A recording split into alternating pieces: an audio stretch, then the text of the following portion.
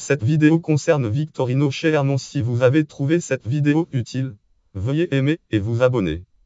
Victorino Chermont né à Rio de Janeiro le 24 avril 1973 est mort sur le territoire de la commune de La Union Antioquia La Union le 29 novembre 2016 est un journaliste sportif brésil-brésilien. Il meurt le 28 novembre 2016 dans le crash du vol de 1933 Lamia Airlines. Biographie Victorino Chermont a travaillé pour le groupe Bandeirante Alien Lang, Trad Radio Globo Radio Globo à Sport, Lien Web, titre journaliste à do Brasi Intero accompagnavam à chaque commence sur le